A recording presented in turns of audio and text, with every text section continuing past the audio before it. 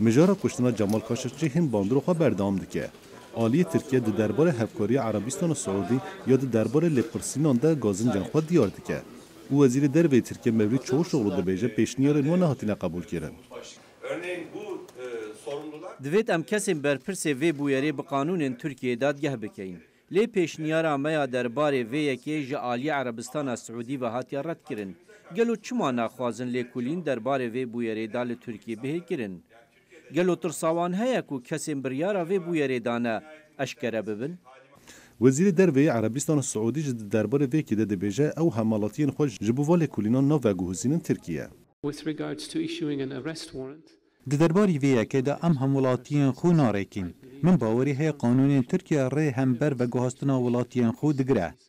دستلادارن ترکیه باور دکن که سعود القحطانی یکی سرکه که در دربار وی کشتنه ده آلیکاری گهشت یا محمد بن سلمان و هر وهر وبر استخبارات سعودی ل دین کوورا ماگازین تایمز لیسته کسن سال بجارتن و د ناوان ده روزنامه‌وان کاشقچی هه د دربار وی که ده ادیتور واشنگتن پست جن نرین خوا و ها پار Ez gelek keyfxweşim ku navê Cemal Xaşiqçî di lîsteya Times Magazine de ye. Ev gelek tehlû şirîn e. Min hîvî dikir ku Cemal li vêrê biya bi çavê xwe bibîne. بویره کشتنا کاشقچی هم بندو به دهان برسوانه او گلک شیروکارن سیاسی و هر وها نویسکار جه باور دکن کو و بویره باندوره که خراب لسر پست محمد بن سلمان هین نوانیه هوله